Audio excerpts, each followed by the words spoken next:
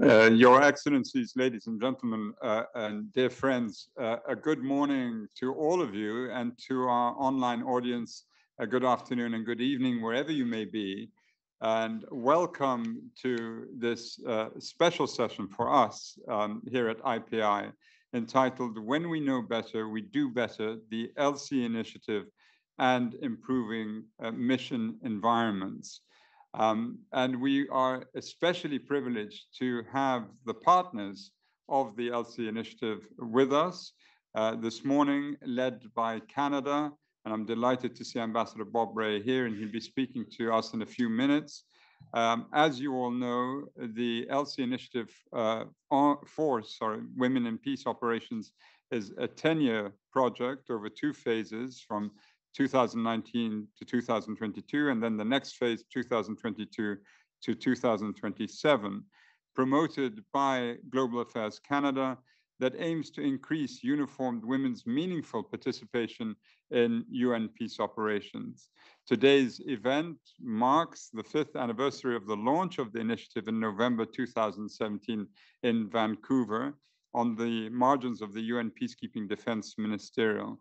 And in recent years, research by the UN and other institutions, including IPI, has shown that UN peacekeeping mission environments themselves can be significant barriers to increasing women's meaningful participation in UN peace operations.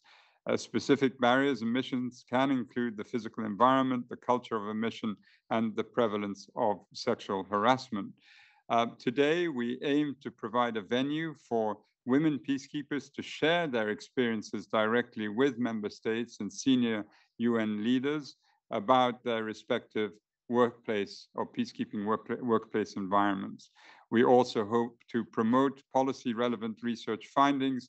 And at the back of the room, you will see we're showcasing an exhibit on gender responsive peacekeeping camp designs created by the UN Department of Operational Support, and I'm delighted to see the Undersecretary General Atul Khare with us uh, uh, this morning, and he too will be addressing us uh, in a few minutes. And then finally, we want to raise awareness about Elsie, about the Elsie initiative's five-year expansion and extension to 2027. Um, with that, I, it now gives me great pleasure to uh, welcome and uh, ask Ambassador Bob Rae, the permanent representative of Canada, uh, to make a few remarks from the podium. Please, Ambassador.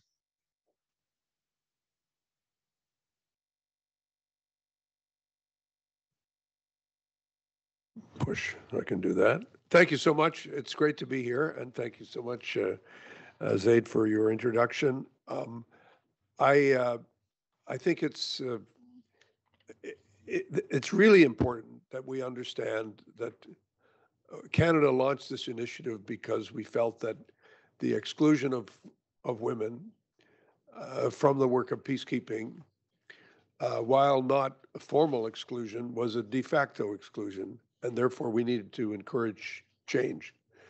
Uh, and uh, we've seen this change uh, in our own policing and in our own military uh, it's had come with huge challenges, and uh, the UN is no exception to the challenges. Um, we remain firmly committed to, to uh, the Elsie initiative, and I'll be making a very brief uh, announcement about an additional uh, funding that we want to do to concentrate on the issue of sexual harassment. Uh, perhaps I'll start with that. Canada is announcing a commitment of half a million dollars Canadian to, uh, I stress this Canadian because I don't want anybody to accuse me of bad faith when we, when they get the check. Uh, as we know, the checks are changing these days. We have to be aware of that. But uh, we are really committed to working hard on dealing in particular with issues of sexual harassment, which still exist. And uh, it's shameful.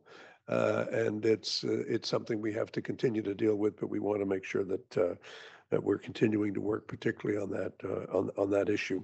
C'est un grand plaisir pour moi de pouvoir euh, renforcer l'importance de l'initiative RC, euh, jusqu'à quel point c'est important pour nous de, d'avoir euh, une initiative qui a été tant de succès. Il y a tant de défis, mais quand même, ça va, mieux qu'au moment où, où on a commencé. Notre, euh, notre point de départ, ce n'est pas une initiative qui est exclusivement canadienne, c'est une initiative qui dépend sur les partenariats effectifs sur le terrain. This is about partnerships that work on the ground. It's not about uh, a, a, an exclusively Canadian initiative. It's about how we work with uh, with many member countries uh, who ha- have a great number of troops and a great commitment to uh, to peacekeeping, and how we work with them to build up uh, the participation of women and uh, the uh, the ability of women to work freely, openly, equally, and w- with complete confidence that their presence and their participation is is welcome and and, and is more than just welcome. It's it's uh, celebrated. So we will hear, I think, during the panel discussion elsewhere about the, our initiatives with Zambia, with Ghana, uh, and with Senegal, which are all examples of projects where we are we are working with with with member states to reinforce the importance of the engagement of uh, of, uh, of working with um, uh, making sure that women are are able to fully participate. We're very proud of this, um, but we look uh, and, and, recognize that there are also uh, tremendous challenges. I would encourage you to have a look at the exhibits that I think give us give all of us a sense as to what and how much needs still to be done. Uh, but it's nevertheless extremely important that we take stock of what we're doing, that we learn from where we've been. I think the importance of candor in these discussions is extremely important. There, there are no uh, no comments that are not welcome and understood. We all have to learn how to do it better. Uh, and I think, and that's that's the spirit with which we enter this conversation. Not that we have uh, created uh, anything that's perfect, but that we have uh, have have uh, created something which uh, which we think is exceptionally important if we're serious about equality and if we're serious about changing the dynamic of peacekeeping and peace building, which we know will never be effective unless women are are are uh, thoroughly and deeply and equally involved uh, in everything that we do.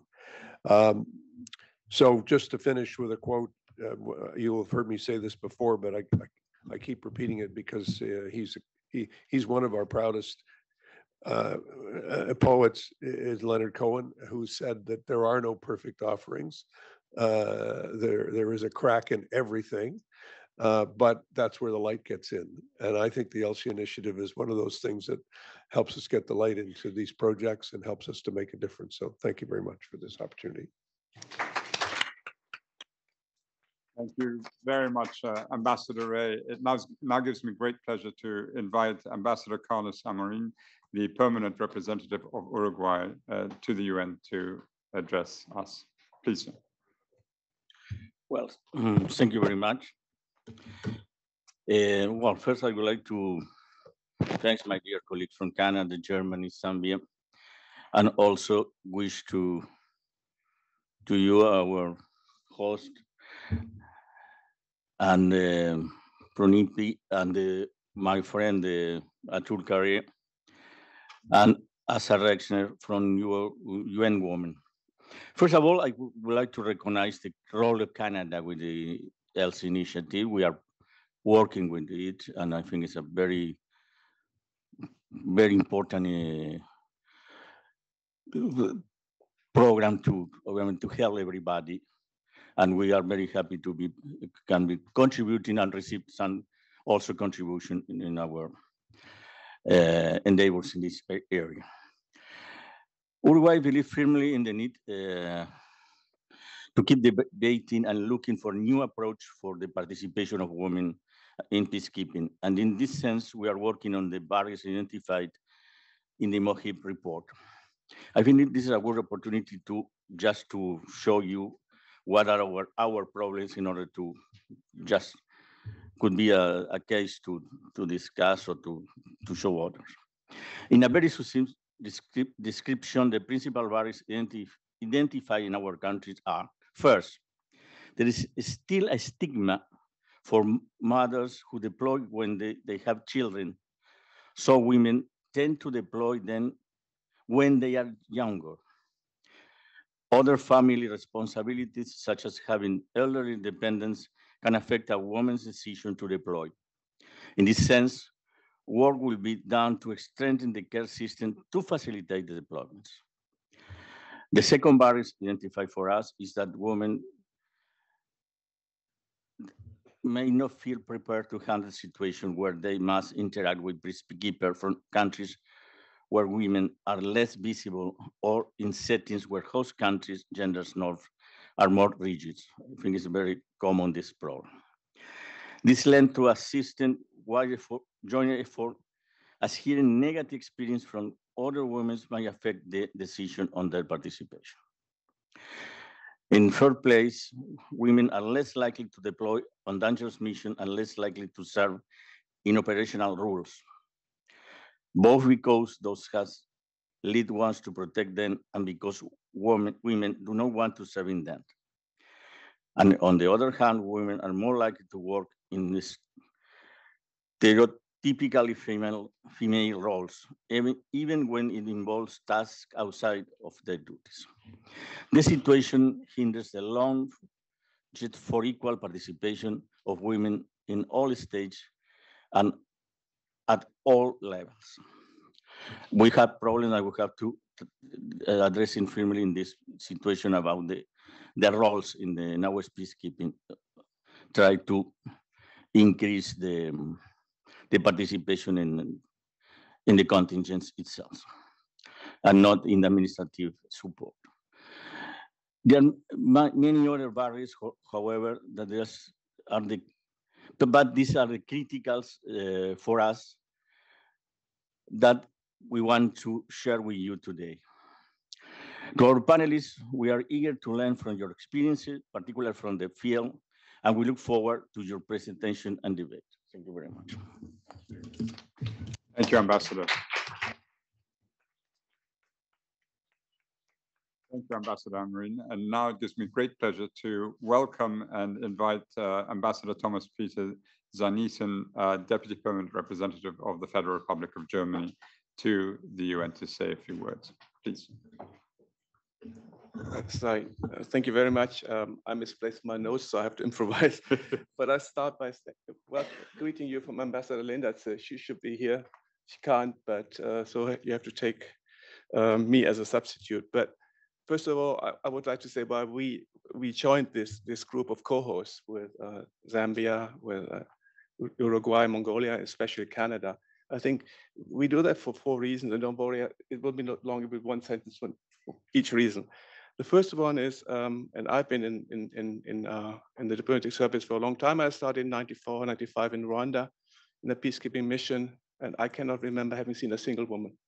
And in 2006, we were in the Congo with the European Union, very few women, and we've come a long way. And I think as a champion for women, peace and security, I think we as Germany have to do whatever is possible to create a, a meaningful environment for female participation in peacekeeping missions. And I think if there's a game changer in the last few years, it was the, this initiative. Uh, and I think the Elsie initiative is not only groundbreaking itself, but the so having set these standards in five years is just short of remarkable. The second point why we support it is simply because we can learn something from this, this initiative. I think it has been also a trend and a groundbreaking initiative inside the UN, the, the UN system, how you conduct a, a, successful initiative. And for both, uh, thank you very much for our trailblazer, Canada. The third one is uh, as a donor, we're extremely proud of participating in the Elsie Initiative Fund. I think this is an extremely well-designed, thoughtful, uh, uh uh, fund that is doing very meaningful projects and uh, very much based on what Ambassador Rae already said, partnerships. And the final one, and then I really stop, is um, the Elsie initiative also helps us to do our homework. I think we don't have to really look into the UN system, we have to start at home. And I think uh, the, title of this meeting today, when we know better, we do better. I think we should start at home. And that's what we did two years ago by doing a barrier survey in our own forces and see why there are there so few uh, female participants in peacekeeping still. And we found a couple of informations uh, that are actually quite meaningful for, for our future operation and cooperation with the UN. And of course, it's not only lack of information, there is something to it, but it's much more a social, uh, cultural issues um, that we have to address and also, also, institutional. So we also need this initiative for own consumption. And with that, um, I'm extremely uh, happy to participate and looking forward to, to this discussion with real experts. And I think, as you said, Ambassador Rae, five years of success, but uh, we are nowhere to the end. And let's start the next years from here. Thank you. Thank you, Ambassador. Uh, and now I'd like to welcome, and it gives me great pleasure to invite uh, Regina C. Boma Phiri, uh, the Deputy Permanent Representative of the Republic of Zambia to the UN to address us, please.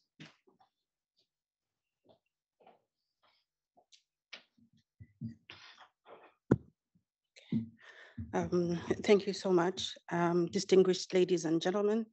Um, it is an honor for me uh, to join the permanent missions of Canada and Germany, as well as um, Uruguay and the International Peace Institute in hosting this event with a focus on the Elsie initiative um, and the importance of improving the environment for peacekeeping operations.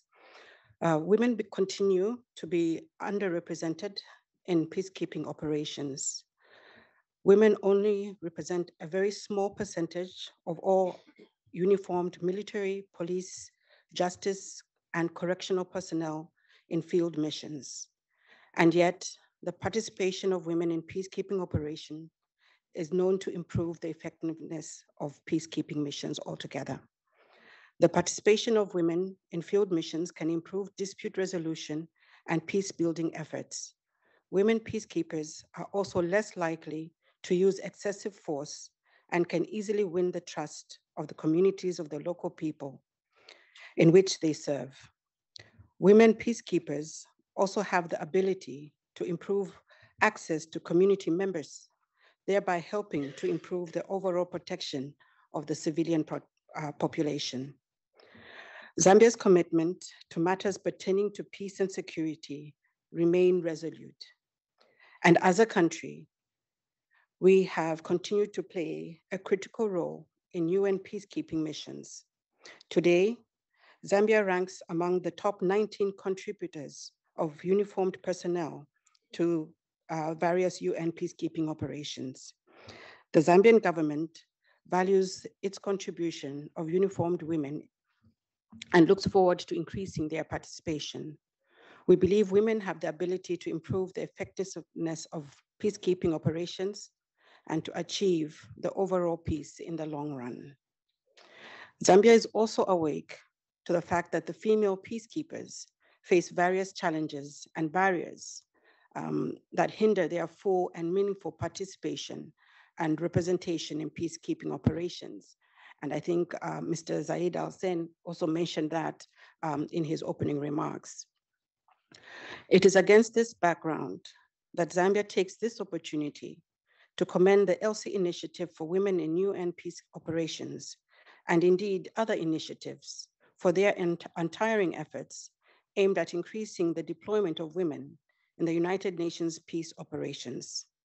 Zambia is delighted to be one of the pilot countries selected under the Elsie initiative, and upon implementation, will increase the deployment of uniformed women, particularly the police women in peace operations. We remain committed to advancing the representation and deployment of women in all service ranks in these peacekeeping operations. And as I end, I wish to reaffirm Zambia's commitment to the UN peace security efforts around the globe. I thank you.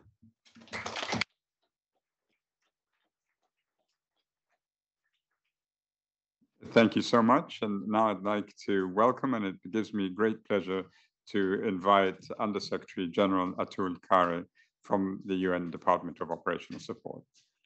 Please. Thank you, President, my dear friend, uh, Prince Zeid, Excellencies, distinguished guests, Asa Regner, and my other colleagues, dear friends, one and all. I'm really delighted to be here today with you all to celebrate the fifth anniversary of the Elsie initiative for Women in Peace Operations uh, launched in Vancouver in November 2017. My special thanks to the co-hosts of this event, Canada, Germany, Uruguay, Zambia, and the IPI for the opportunity that I have to speak on a topic for which I care a great deal.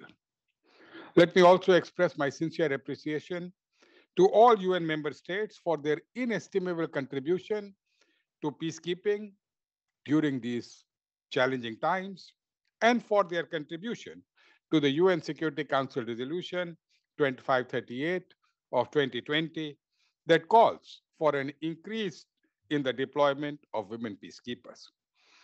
Increasing women's meaningful participation in UN peace operations is not just a question of augmenting the sheer number of women peacekeepers, but breaking down barriers referred to by my dear friend, DPR of Germany, Thomas, and making positions of power and leadership accessible to women within peacekeeping operations.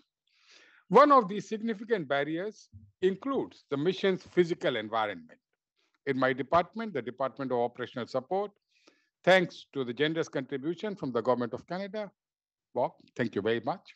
The Elsie Initiative for Field Missions Project for applying gender considerations in UN camp accommodations is progressing considerably.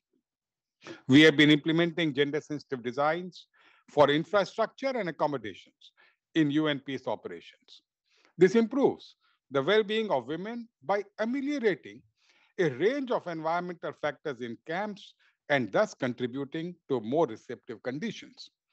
The pilot projects in MINUSCA, MINUSMA, MONUSCO, and UNISFA, which focus on women's accommodation clusters and recreational areas, are good examples of significant improvements to the conditions of women peacekeepers that have been made and can be made.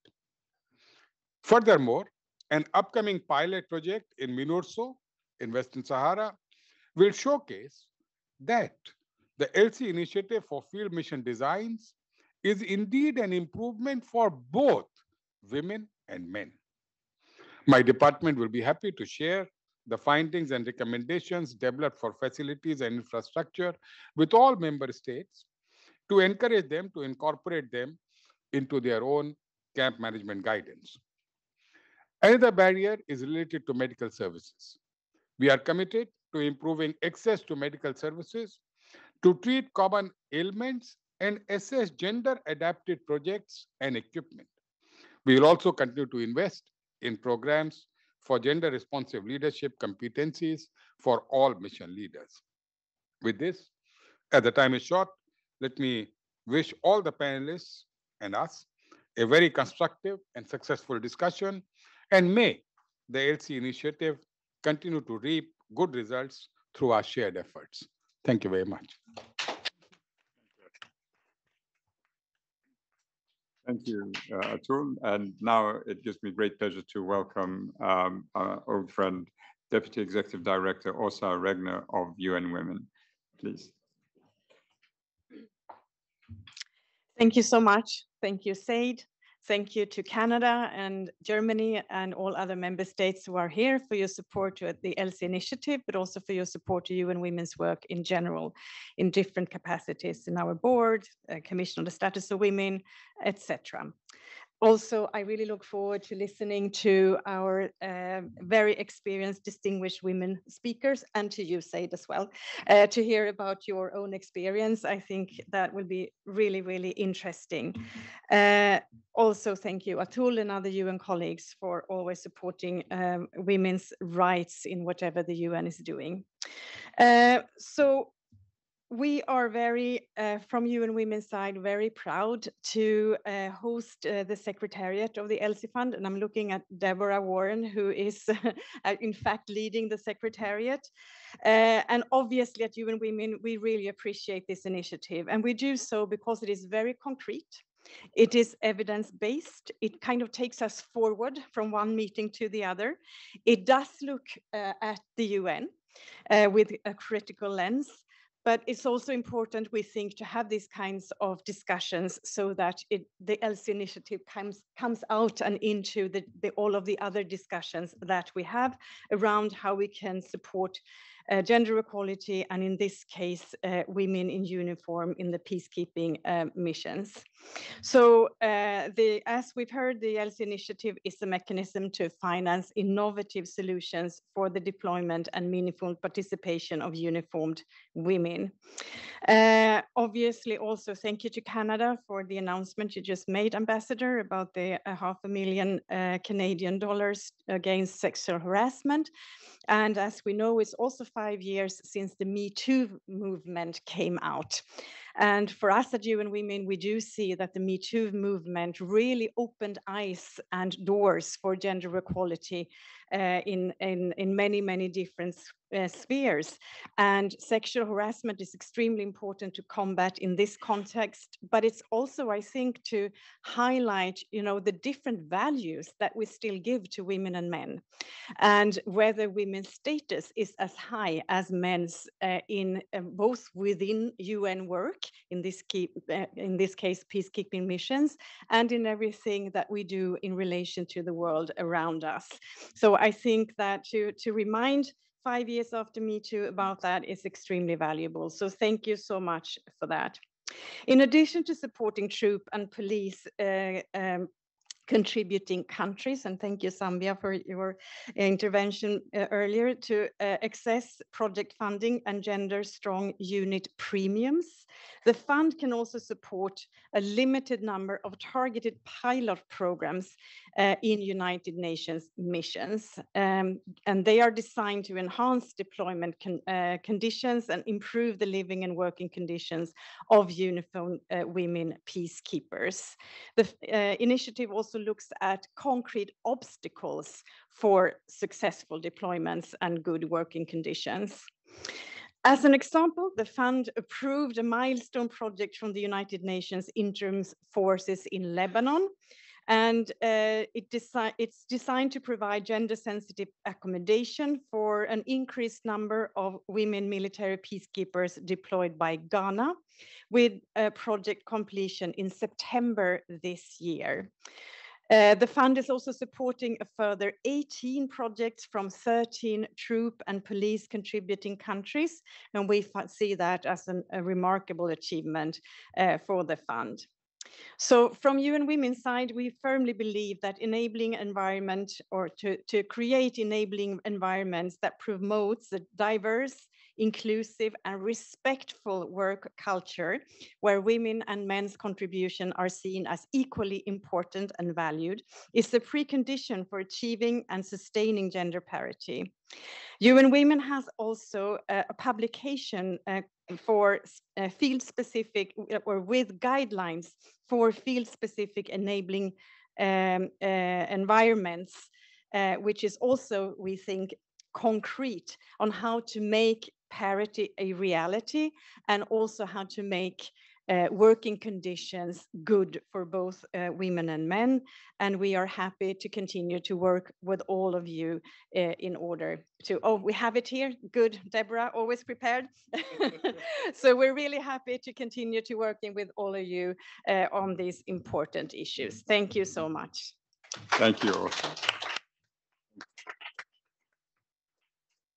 Thank you, Åsa, and, and, thank you again to all our the speakers who just took the floor. We now will now transition to our panel discussion, and uh, it gives me great pleasure to welcome our panelists. If I can start by introducing from left to right, uh, Commissaire General Veronique um, Orebi de Place is the Chief of uh, Mission Management and Support Section in UN Police Division. She has over 35 years of police experiencing or policing experience, sorry, at the senior level in both national and international contexts. Ms. Uh, Orebi de Place has led several French police services, including operational and administrative units. Before joining the UN, she was director of airport security for France. Welcome. Um, to my immediate left uh, we have uh, uh, Wing Commander Nkechi Esionia, and I hope you, I pronounced it correctly, Uzodimma, and she is currently working as a capacity development officer in policy at the Office of Military Affairs in the United Nations Department of Peace Operations. She began wow. her career in the Nigerian Air Force in 2001. Ms. Uzodimma is the first woman directing staff in the history of the Nigerian Armed Forces, and she was deployed to the UN mission in South Sudan, UNMISS, in 2017. Uh, welcome to you as well. And on my right, we have Brigadier General Sandra Kerr. Currently, uh, she works as a program management officer and expert on police performance in the Office of Peacekeeping Strategic Partnerships at the uh, UN Department of Peace Operations. She served in the UNAMA or in UNAMA as a police advisor from 2012 to 2013. And prior to this, Ms. Kaya uh, has worked for 35 years in the National Police, first in Amsterdam and then in the Gendarmerie of uh, the Netherlands. Um, so I would like to begin. First of all, I'd like to uh, also comment on a, on a point made by Thomas, because I joined UN peacekeeping around the same time and uh, in a mission that had 70,000 uniformed personnel. And I only remember a handful of women peacekeepers in the Danish battalion and the Nordic battalion in Sector Northeast in Bosnia-Herzegovina. Uh, the rest were, of course, male. And uh, 15 years later, I was visiting uh, UNMIL in Liberia and how the mission had changed to echo what you were saying. Not only was the leadership of uh, the mission uh, all women, uh, but also we had the first of the formed police units from India, an all women uh, formed police unit, and you know dramatic difference in the atmosphere of the mission. Um, I'd like to begin my questioning, if I can turn the first question to Sandra on my left, um, with the permission of the very distinguished officials on this uh, table, they've agreed that I can refer to them in their first names. Um, I, the official reason is because it's simpler to do it like that. The unofficial reason is that I only ever made it to first lieutenant. So I feel very intimidated by higher ranks. so I prefer to just go to first names. But if I can turn to you, Sandra, in the last two years, you have been undertaking reviews of peacekeeping missions, including MINUSCA, uh, MONUSCO, and UNMISS. And in your trips to these operations, uh, can you tell us about some of the best practices or lessons learned about how these missions are addressing the needs of women personnel? And what have peacekeepers told you and what have you seen? Yeah, big question. Here I am, yes. Um, yeah, and as OPSP, we do reviews on mandate implementation in a broad perspective. Um, and uh, I also take a specific look at the role of female peacekeepers in, in the missions um, by talking with them, uh, looking at uh, their accommodation, uh, for example, etc. And um, well, a lot has been said about the women that are missing, but I actually have the opportunity to talk to the women that are not missing but are there. And um, I think there are some. There's not one mission that does everything perfect, uh, uh, obviously. Uh, but I think there are elements in different missions that uh, uh, make better uh, the position and the role of women. And first of all, I think that is integration. Integration in all tasks, in all roles, in all ranks. Um, integration with male, obviously. I mean, it's it's the masc- masculine roles uh, and the feminine roles is something that is like black and white. I think it's not black and white at all. But when you uh, look at it in that perspective, I think the additional competencies of men and women, uh, when they are integrated, they are most effective. Uh, and I'm not the only one thinking uh, uh, that. It's it's research, of course. but within the missions, I mean uh, with all respect for full female units, um, I think integration works more effective. Full female units can be effective in certain situations, uh, in certain uh, circumstances that is needed, then it can be very helpful. But generally speaking, I think integration uh, and mixed units uh, are far more effective. Um, and um, uh, also when uh, when it comes to leadership, I think leadership in this perspective need, plays a huge role when it comes to inclusiveness and almost gender neutral, uh, have respect for competencies of people, uh, competencies of people in their different roles and tasks. Uh, and leadership is essential for that, but also to, um, to have a culture that is uh, open and transparent and is able to discuss issues. Um, I mean, it's not female issues. I think it's also male issues when it comes to harassment and things like that, uh, or work and living conditions. So uh, leadership, um, I mean, we go into the deep fields and we come to places that leadership has not been there. Uh, and I think that's amazing because I think leadership needs to be where things happen, uh, to see things, to uh, talk to people and to have an understanding what's happening in the deep field, especially under these uh, harsh conditions that we put our peacekeepers in. Uh, so I think that's also a very uh, important point. Um, the third point is uh, where there are a lot of best practices, but also a lot of uh, improvements. It's the, the, accommodation and the living conditions. And um, I think we see a lot of um, deplorable conditions that we put our peacekeepers in, unfortunately. And um, I, I totally agree that we have to, I mean, pilots and projects uh, to see what, uh, what can be a more adaptive or a more gender responsive uh, uh, environment. It's, it's really good and uh, I really encourage that. But on the other hand, some things are really basic and some things I think shouldn't be this complicated. And it's about flexibility, for example. Mm.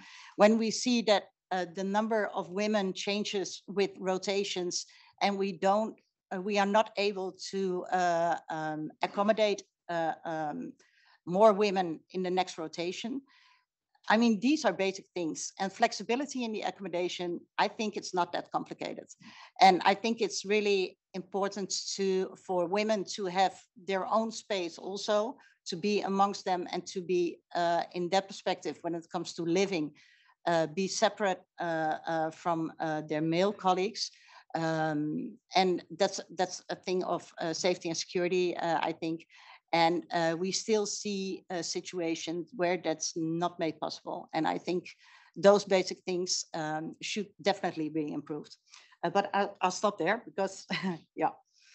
No, well, thank you, uh, Sandra. And if I can now turn to Nkechi, um, UN Security Council Resolution 2538 on women in peacekeeping was groundbreaking in that it urges, it urged or urges the UN and uh, TCC PCCs to provide adequate and appropriate infrastructure and facilities for women in missions, and such as accommodation, sanitation, healthcare, and uh, protective equipment.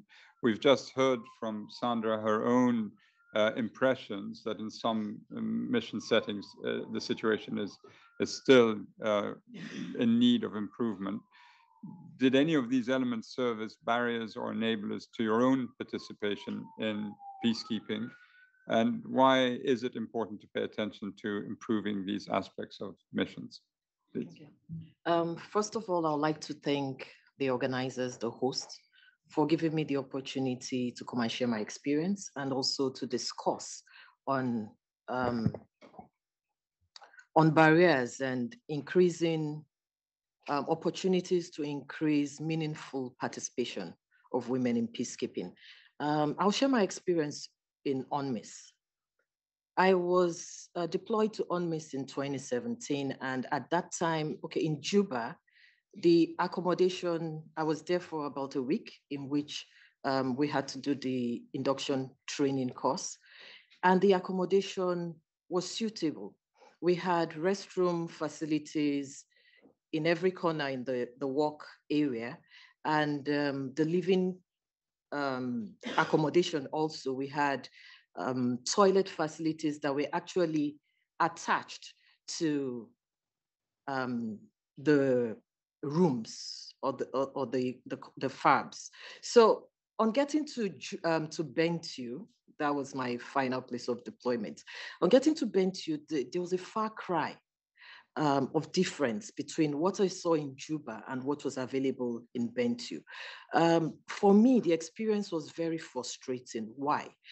I we had at that time just one ablution for females that was functional. And no matter where your room was, you had to find your way down to that ablution. Um, and this was very inconveniencing. Um, unfortunately, my room was very far away from the ablution, so you could imagine. And so for me, I had, I had to treat um, UTIs. I had to treat um, infections severally. Why? Because I had to retain urine for longer time before I could uh, um, go to use the restroom. We're, we're all aware that for women, we actually have peculiarities. Um, these range from um, our frequency in, uh, in bladder activities, um, privacy, um, down up to some sanitary um, issues at certain part, times of the month. And so putting into consideration some of these peculiarities in appropriate and suitable accommodation would actually encourage and improve uh, the participation, the meaningful participation of women, especially for the uniformed um, in peacekeeping. Uh, I would also like to mention, I know um, right now the UN uh, DOS, um, the ASG, the USG, um, Khare has already mentioned that some effort has been made concerning some of this, um, this particular barrier that is accommodation and facilities, uh, making it more gender sensitive and to improve um, or enable a, a better working environment. I would like to encourage that remote areas of the mission should be looked into because we tend to forget these areas most times. And um, it would improve not only the UN, uh, the, the peacekeeping experience, but also encourage people back home, you know, to want to volunteer to uh, peacekeeping. I'll stop here. Thank you. Uh, thank you very much, uh, Nkechi. Um, would uh, anyone else like to just reflect on this point? Veronica, I'm going to also turn to you, but also you can maybe reflect on your own experiences. Um, there was, we issued at IPI a paper on the perceptions and lived realities of women police officers in UN peace operations, and it found that women are expected to integrate into masculine policing rather than the institutions changing to be more inclusive for, for everyone. And we see that women are often turned to for solutions and are expected to do the extra labor to improve the workplace. Um, do you have examples of men who adapted to the needs of others in the workplace and championed more respectful cultures? and what did they do specifically? So the three questions rolled into one. Veronica, I hope you forgive me. Please. Thank you. But actually, the, the, the last one is a very um, difficult, or, or, should I say, dangerous question. Let's imagine I say, no, I don't have any example of men who adapted. What can you say? so I'm joking, but uh, I'm joking, but you know, I I belong to a, a, generation because I'm not so young, uh, where things were um, very difficult. I should say at the beginning, at least, and especially in the police. Uh, I guess in other military should be the same. In other institutions, maybe things were uh, easier. But uh, when I began to, to, to be a, a, police commissioner, so meaning the, the, the level which is supposed to, to, to give orders and to command other people's, um, it, it, was difficult. It was difficult because the men were not used to that uh, especially in the police once more. And um, I can have terrible example, uh, but funny examples, uh, where they were very surprised to see me because I was 25 years old. And uh, I, at the beginning of my career in the Préfecture de Police, which is the, the, the Paris police, uh, I had in my functions the public order the management of the crowd control, which is typically masculine, uh, and I had to to command excuse me, if my English words are not the, the right ones, uh, to command the CRS. CRS are the Compagnie Républicaine de Sécurité, which means uh, the, the troops, the, the police troops that um, keep the public order, uh, right. and especially in the stadiums in the stadiums where football matches uh, occurs, and you can imagine what kind of people uh, are going to see those matches. There are a lot of uh, incidents and, and, and, problems. And the first time I arrived with my uh, driver, who was a big and tall man with a mustache, uh, was my driver not to, to, to take me shopping, but to, to, to take all the notes uh, for everything happening uh, during this match and, and took me from one place to another. And uh, so he walked beside me uh, and uh, we, we were going to meet the, the, the commandant of the CRS, which, who, who was supposed to be under my orders. And the commandant of the CRS arrives and he see my driver and I, and he said, my respect to my driver. And so the, so the driver said, this is Mrs. Weiser. And I thought he was going to make a, a heart attack uh, because he, he, couldn't imagine a second that I was the one who is going to, to give him orders during this, uh, this event. Uh, and I have many, many other examples. And nothing was made to help us because, you know, the, the especially in, uh, in, in France. I know that in uh, Anglo-Saxon countries it's a bit different, but the rhythm of work is very difficult for a woman because you you end very late in the evening, and they used to put meetings at six or seven p.m. Uh, so you can imagine, and and a lot of men are asking a lot of absolutely unuseful questions uh, at 7.30 uh, and, and, so I was looking at my watch and I have to, to get the kids to give them food to wash them and when they are sick to take them to the doctors and so on and so forth and I said, yes, okay, he's soon finished. No, I have a question. What do you think of my gosh? Are they going to shut up? Uh, and and nobody could imagine that it was difficult to, to have meetings lasting till 8 or 8.30 p.m. Um, but, but all this was a long time ago. And I must say that things are little by little improving, uh, even in the police or maybe in the army, and that the needs of the woman are more and more taken in consideration. And the thing I observed since I've arrived in the United Nations, which is very um, recent because I'm, I've been there only for one year, uh, and maybe you will find me uh, optimistic, too optimistic, but um, I think it's an institution where these needs are really taken in consideration. Uh, and um, I've heard a lot of things about uh, gender equity. You can tell me, yes, but what is going, what is happening on the field?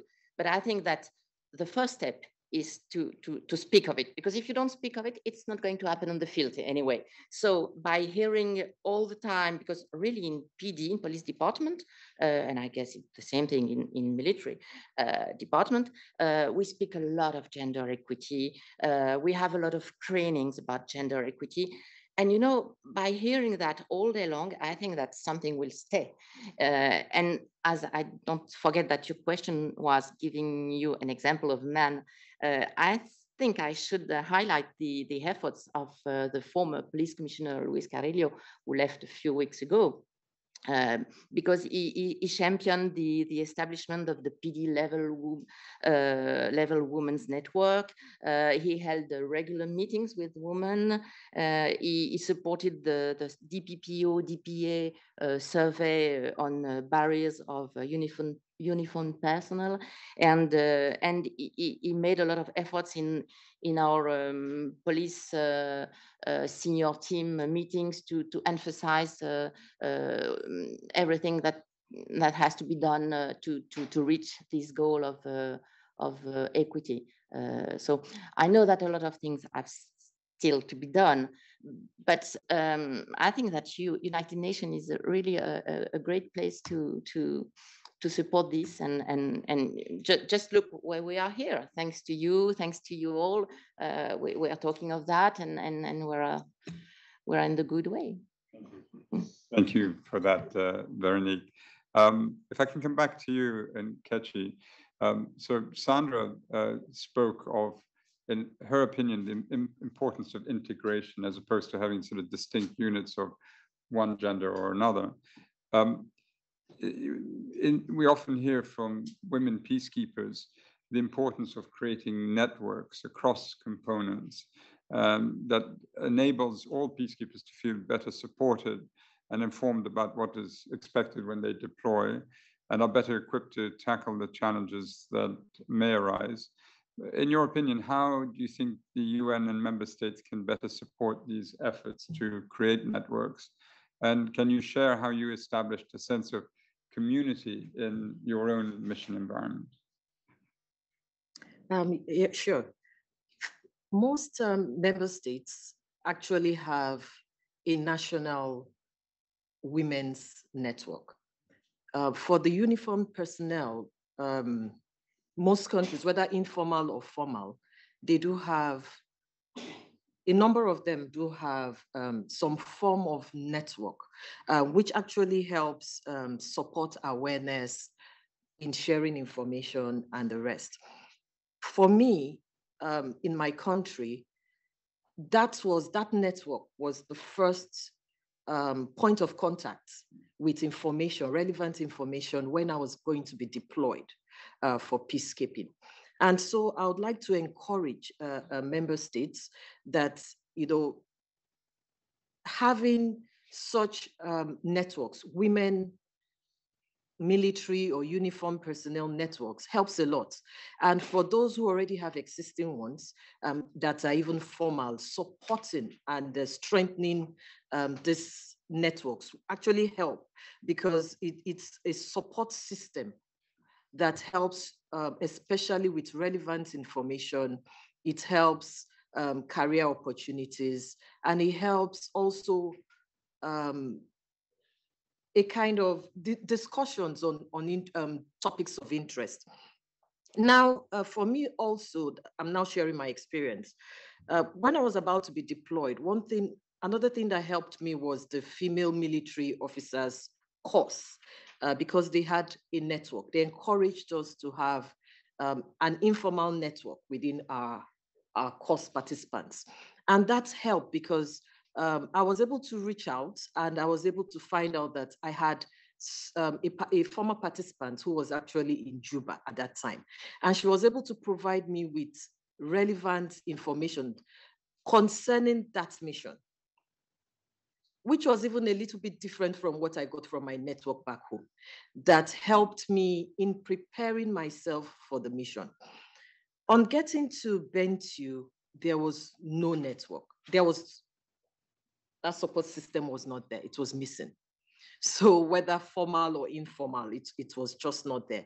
And so I was isolated. Um, it was difficult trying to uh, break into um, certain groups, you know, which probably group of friends or whatever. So I was totally isolated. Information that was relevant to me, you know, came in in trickles if they even did come in at all. And that's um, something we could look at, you know, that would help, especially in the mission. Um, I just want to bring out that in UNHQ, I've been here for about three years. We do have a, a women's military network um, which actually comprises of um, female military officers within UNHQ and our counterparts within the permanent missions. And um, this gives a forum in which we share important information. We talk about um, topics of interest, we share experience, um, even career opportunities, training. And this has actually helped us bond better, helped us discuss our challenges, and help us even come up with solutions that could help uh, uh, even those in the missions in our work, daily work. And so um, more recently, I know, I think UNPOL and um, Justice and Corrections had something, uh, a network, a female network. Uh, it would be good to also have a military female network. So I'm, I'm throwing this open. Yeah, it, it would be a good one. Thank you. Thank you so much. Uh, Veronique, if I can come back to you, and then we, I'll come back to Sandra. But the global uh, MOWIP report by DCAF and Cornell University recommends that the UN recruit, select, and develop peacekeeping personnel based on their skills, of course, but also paying attention to their attitudes, assumptions, and approach to gender equality and sustainable peace. You know, how do you uh, see these characteristics as supportive of a more uh, receptive environment for women in peace operations? Yes, of, of course, um, if, if systematically considered and applied as uh, core skills required for de development, uh, deployments uh, in peace operation, uh, this characteristic would contribute uh, to, to a more gender sensitive um, enabling, enabling environment uh, that would promote the full, uh, equal, and meaningful participation of women and men in peace operation, and ultimately uh, greater gender equality. Uh, it's it's it's obvious, and um, I must uh, underline that. point out that we have in police division, and, and I think not only in police division, regular and mandatory awareness programs for for all to provide guidance on the relevant uh, policy and procedures to, to foster the creation of a harmonious, uh, uh, respectful and gender sensitive uh, working environment, uh, including um, some, some mandatory pre-deployment training, for example, on prevention of sexual harassment and abuse by UN personnel, um, we have uh, an introduction to gender equality for United Nations. Uh, we have regular bulletins of the United Police uh, Professional Standards Unit. Uh, we have interactive sessions uh, with conduct and discipline uh, teams. Um, so we have many, many tools to try to, to, to, to implement the, the, this fruitful and respectful environment I, I, think uh, it's it's a condition for better equality. No, I, I, I would completely agree. With all my years uh, in and around the UN, um, the UN, I've always felt the UN is a reflection of the world out there. It's it's in one way no better, no worse. But where the difference can be made is where you have the intersection between the Secretariat, uh, the sort of the, one of the principal organs of the UN, and where the member states work together. At that point, you know, we ought to be presenting a better model than the societies in, from which we will come. And I think that's the point that you were stressing. And, and but there is, of course, the other side. And, and here, Sandra, if I could turn to, to you, research from IPI and DCAF has shown that both men and women experience sexual harassment and social exclusion, including bullying and discrimination. How can the UN and peacekeeping leaders take these lessons and begin to change the culture of missions so that they feel uh, safer and more um, respected, respected as peacekeepers, and uh, and how and uh, make peacekeeping operations as diverse as possible? Um, yeah, that's a good question. Um, I think again, leadership is key, uh, but also the standard we set as UN and TCCs and PCCs together. Um, the standard is a basic foundation. Um, uh, Veronique al already told all the trainings, all the, uh, whether it's in pre-deployments or uh, within HQ uh, uh, over here. Um, it's, it's a really important set of, uh, of standard or foundation but it's not uh, the solution. I mean, I think we um, tend, when there are problems, we tend to uh, uh, get back to these kind of solutions by training. We in missions, we sometimes see that uh, units get once a week a training about SEA, and um, once a week the same training. So it's, I mean, repetence is important, but keeping uh, uh, uh, keep on saying that it's a zero tolerance uh, or whether it's harassment as, or conduct and discipline in the in the broad perspective, it is actually a starting point. And I think the conversation, uh, how to op oper operationalize that, that is the important thing that can make a difference. So um, we um, we ask a lot from our peacekeepers um, by uh, yelling at them, there's a zero to tolerance policy, it's not enough. You really have to open up what problems do you face? How do we communicate with each other? Uh, how do we cope being in these difficult situations? Whether it's men, women, everybody. And especially for the uniformed, it's always finding the balance between being all the same and being uh, and appreciating diversity and being able to be yourself within a uniformed uh, unit. Um, and I think leadership is essential to have these conversations and to create a culture where you can address issues. Um, I think there are a lot of taboos still. Um, and I think stepping forward in these kind of things ask for uh, uh, real strong leadership in that perspective. And I also think um, that the I'm a bit positive about the younger generation when it comes to gender uh, roles and uh, addressing issues that are uh, relevant. So I really think, but the decision makers are well, my or not our because I see a lot of younger people here, but my generation. So I really think we should also um, give them the floor to to discuss issues and to address situations, whether uh, it's from a male perspective, female perspective, uh, other perspective, LGBTQ. Um, I think it's really important to open up the floor to have these difficult conversations. And of course, I realize in, I mean, we are coping with a lot of different cultures.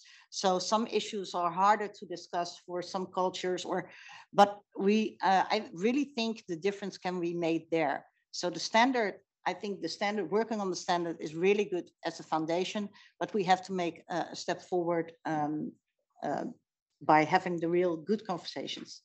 And uh, sorry to it. And I think there are also instruments we can, I mean, the network is, I think, uh, from a huge importance that you have people you can, uh, uh, whether it's trust, um, trust people or uh, from a network, uh, buddy systems. Uh, I think those instruments can really help for individuals and also for groups to make these steps forward. Yeah. thank you, Sandra. And I, I think you're absolutely right. There are some extremely complicated issues that need to be settled. And uh, here I, I would beg the member states present to no longer just keep the issue of a framework or a draft convention on criminal accountability for UN officials and experts on mission sitting there year after year in the sixth committee. It's the 16th year. It's, it's not moving anywhere. It's languishing. There's a working group. Without it, we're not serious ab about addressing harassment once it crosses over to abuse and criminal abuse. All the UN can do is then dismiss, you know, if you had a case of a civilian peacekeeper, male, abusing uh, to a criminal extent, a military female officer or soldier from another country, all the UN can do is dismiss from service at the maximum extent and that person, unless they're covered by extraterritorial jurisdiction, is basically free. And how can you send the message that at the extreme end, the UN will not tolerate it if the member states do not take this step in sixth committee and get this resolution through. So I, I beg the member states to do this uh, finally. Um, we've reached the end of our time with the panelists. Could you please give a round of applause to the three of them for their excellent presentation. Um, we will now turn to the final few comments uh, before opening up uh, to questions from the audience. And I'm delighted to invite Colonel Gang Hukwag, and I hope I, I pronounce your name uh, correctly, the Mongolia's military advisor to make an intervention. Uh, we have a microphone please, yeah, right there. Thank you, Karen. Please. Thank you, Mr. Chair, for giving me the floor. Uh, Mr. Chair and Excellencies, um, it's honor for me to be part of this important event. And I also would like to thank the IPI and Mission of Canada and all the co-sponsor uh, member states. And I also would like to thank all the panelists for their distinguished service and the experience shared with us today. Mongolia has been constantly supporting the UNPKO initial initiatives, most notably improving peacekeeping performance and importantly, increasing the participation of women peacekeeping operations. We have committed to contributing more uniform personnel to UNPKO as one of our foreign policy goals. And over the last 15 years, we have deployed over 1,000 female uh, military personnel to UNPKO. For implementation of the UN uh, Uniform Gender Parity Strategy, Mongolia intends to meet the target by 2028 we're working to develop five-year national action plan to build the capacity of female military personnel. I'm pleased to inform that when we complete our military rotation in South Sudan end of this year, uh, female represent, representation of the contingent will increase from 7 to 11% and will continue to do so. Mr. Chair, last June, Mongolia hosted an international conference for female peacekeepers as its contribution to implementing the UN WPS agenda. The conference attracted 80 military participants from 30 countries, representing all the continent. We intend uh, to host this conference in every five years. The purpose of this conference was to discuss the implementation of the UN strategy, to identify the challenges facing the female recruitment, training, and selection of women at all levels of military service, and exchange their views on best practice ways to overcoming the challenges. Let me share some of the takeaways from the conference. In fact, uh, Wing Commander Nkechi was uh, participated in the conference. Uh, he was the, uh, one of these finalists, and I hope she will agree and endorse my, uh, my, my takeaways. The COMS panelists concluded that although there is a progress in the implementation of the UN strategy, there are significant challenges that risk the achievement of the 28 goals. These include underrepresentation of the women in national militaries, in leadership in decision-making positions, equal access to training, stereotype, mindset, and working environment. Additionally, several barriers and challenges remain with respect to deploying more women in UNPKO. The experiences shared by many TCCs all align closely with the 10 barriers identified by the, by the Elsie initiatives. The mission work environment, the issue of inadequate facilities were also raised during discussions and through better awareness in mission training, including gender responsive leadership training to overcome the challenge. In conclusion, Mr. Mr. Chair, there's a growing global commitment to address these issues in order to see concrete and meaningful change with respect to more women's deployment to UNPKO. I thank you for your attention. Thank you. Sorry. Thank you. Thank you, Colonel. And if I could turn to your neighbor, Mr. Kiyohiko uh, Hasegawa, uh, from the Office of uh, the Victims' Rights Advocate. Please, sir, you have Thank you, President Zeid um, and IPI Canada uh, for hosting this event and for all the panelists for the engaging discussions. And thank you for the opportunity to deliver very short remarks on behalf of the UN's Victims' Rights Advocate, uh, Jane Connors, who sends her regrets for not being able to join all of you here today. Um, we've come a long way in the 17 years since the Zeid report, um, but uh, the prevalence of sexual misconduct across the UN over the years uh, reflects a depressing reality, which is that these are not isolated scandals, but uh, systemic behavior rooted in deeply entrenched discrimination, unequal gender relations, and situations of vulnerability. The Victims' Rights Advocates mandate created by the Secretary General five years ago in 2017 puts the rights and dignity of victims of sexual exploitation and abuse at the forefront of the organization's response.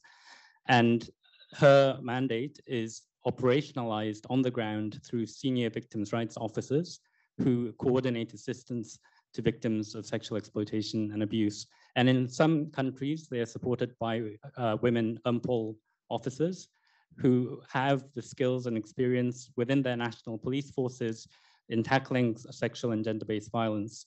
And together with the senior victims' rights officers, they are making a difference. We also know that the drivers of both sexual exploitation and abuse and sexual harassment are similar. And so we are seeing increasing numbers of victims of sexual harassment also approaching the victims' rights advocate and senior victims' rights officers for advice. And so we find people really turn to those they can trust to champion their rights. And as for women peacekeepers and also male peacekeepers in mission environments, we would recommend the designation of a dedicated focal point um, who can provide advice and information. And the Victims' Rights Advocate looks forward to working with the Elsie initiative in the next five years to see um, ways to collaborate. Thank you. Thank you very much, uh, Mr. Hasegawa, for, for those comments. Uh, well, the, the time now is for all of you to participate, not everyone to ask a question, but we want to make uh, the microphone available to anyone who would like uh, to ask a question of the distinguished panelists. There's sort of the formal discussion has ended, but of course we can respond to questions that you may have. Um, so would anyone like to take the floor? I, I do have one question from uh, Zoom uh, participant, but perhaps from the floor, please. And if you could introduce yourself uh, before you ask the question. Yes, of course. Good morning. I'm Major Berneke from France. I, I, have no question. In fact, it's more a share of experience too, because uh, I was deployed three years ago in MINURSO as a military observer. So I was uh, serving in a team site where we were only 15 military observers and only two women. And so um, I totally uh, share the experience that were uh, given here. And uh, I want to insist on a point that Sandra uh, said, is that uh, we could take very basic action actions uh, in, on the, in the field to improve uh, women conditions because um, in my case i was also sleeping in a room very far away from the bathroom and uh, i had the same uh, feeling uh, as you uh, Nkechi. so even i think a, a, simple action would be to sensitize and encourage the mission leaders to just, uh, for example, uh, attribute the rooms uh, near the bathroom or simple things like that. And then um, I also wanted to say that um, the network is very important. And uh, unfortunately, I had no chance to participate to any training before coming. So I think it's also a national responsibility to encourage women to participate in that such trainings. Uh, after the mission, I participated to the female military officer course, and it was very interesting.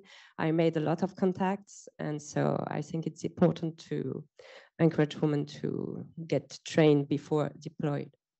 And uh, last point would be uh, to, I don't know if it's existing really, but uh, to ensure that we are monitoring all the results of the programs that are uh, implemented. So we could get some data to you know to mm, to measure how effectively uh, the initiatives are improving women uh, conditions living conditions. That's it. Thank you.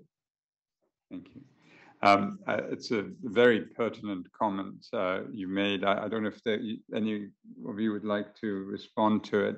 Um, I, just listening to you, of course, makes me think how you know complicated this whole peacekeeping setup is. No, you the the law travels with the the military units, so you're governed by your internal law, so to speak. But the UN requires, as per the MOU, certain minimum standards. And the, the problem I think that all of you are highlighting is that in headquarters, where you have a concentration of personnel, you can see something approaching what we'd want to see. It's more the outlying districts in far removed areas where the inattention, because for obvious reasons, distance and time make it like, like that. The inattention leads to a sort of a, uh, or can lead to uh, the exercise of poor leadership if you don't have proper um, sort of, let's say, officers who are attentive to these issues.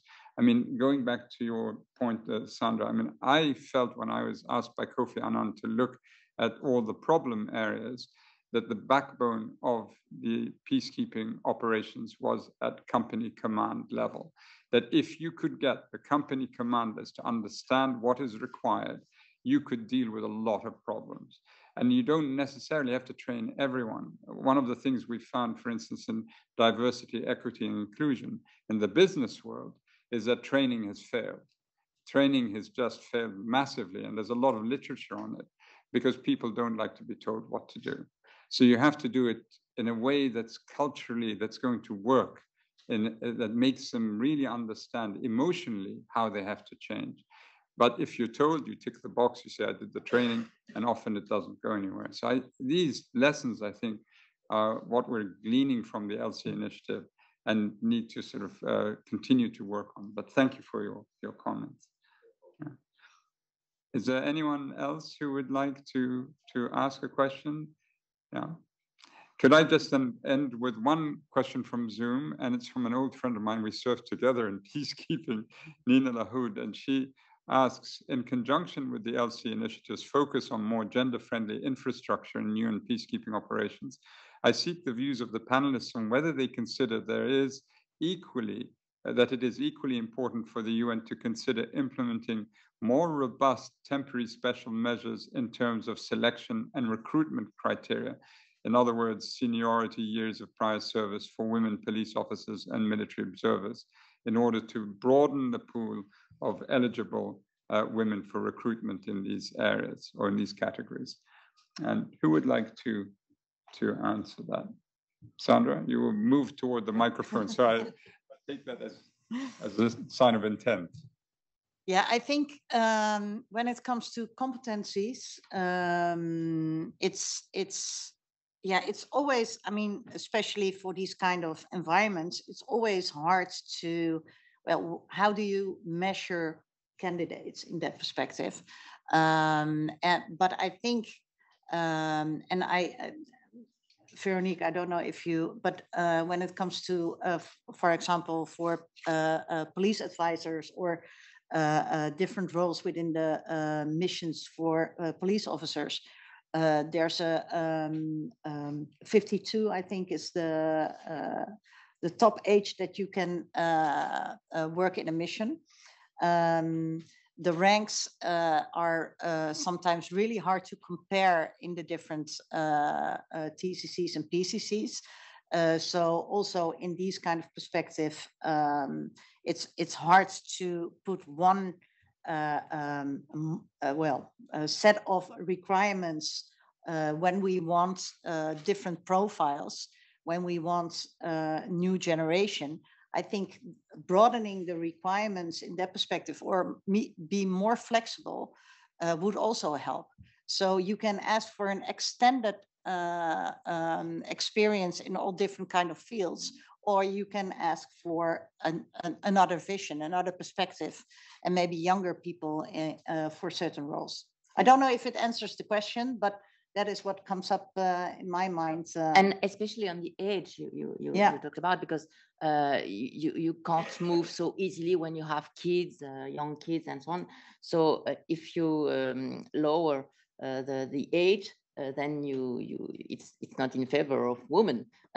so you But know, it's- if it's I only take my my own example, which is not of course comparable to what happens what happened on the field, but I I wouldn't have been able to come here even it's only New York Yeah. uh, be, before because because my husband was working because my kids were uh, and Mhm. so on and so forth and and it's New York. Let's imagine uh, what it is in, in some countries. So But I really think flexibility is issue. I don't have kids. I don't have a partner. So for me, that situation is totally different.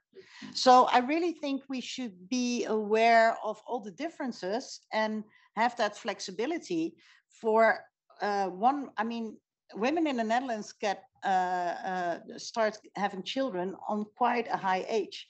So that's different from other countries where they are really young uh, having children. So all these differences, uh, we cannot make a list of an ideal situation. I think we should be aware of the differences and we should be in our systems, be as flexible as possible to, um, well, to get the diversity of situations uh, um, well, being able to go for a job within the UN or because I mean, and I really think that um, maybe we should promote more. We should. I mean, there are a lot of problems, and we always. I also tend to do so to look at these problems, but I see so many dedicated, proud women working in the missions and being totally happy uh, uh, with the way they are working. And uh, uh, besides the improvements that should be made, I think we should also uh, uh, um, highlight these success stories a bit more, maybe. So, especially for women who are thinking in problems like, okay, how am I going to cope in these deep fields? And uh, I mean, all the basic issues that come to mind. The other side is that it's really fantastic to work in the missions and have your contribution to peacekeeping. And I- would like to add, if you, if you allow me, I would like to add something more general. You know, sometimes and quite often, I hear around me, oh yes, um, a lot have been done uh, for the woman, but now it's becoming too much. uh, you know, we have to to to recruit a woman, uh, even if they're not so good, and and no, now it's too much. And I, I'd like to, to, to say first, it's never too much. And second, I'd like to quote uh, a famous political woman in France who was called Françoise Giroud, but I don't think you, you know her.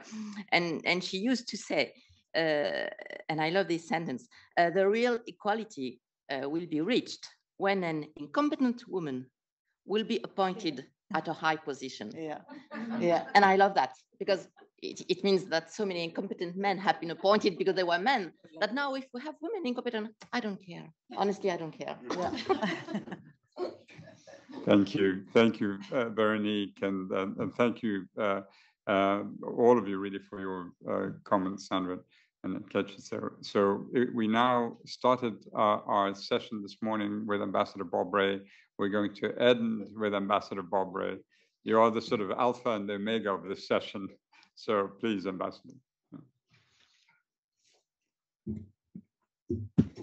Well, thank you very much. Uh, don't worry, it's not going to be long. I, I just want to say a couple of things. Um, I I had the privilege of leading a government 30 years ago, uh, where um, um, half the cabinet were women, uh, and uh, my first meeting with my security uh, director was to say, um, "Why don't why don't I have any any security uh, women in the uh, attached to the security detail?" And he said, "That's never happened before, Premier." I said, "Well, it's now going to happen." And he said, "I'm not sure we can find the right people." I said, "You'll find them." And so it it I think it's a matter of changing just changing mindsets and just making making the changes happen.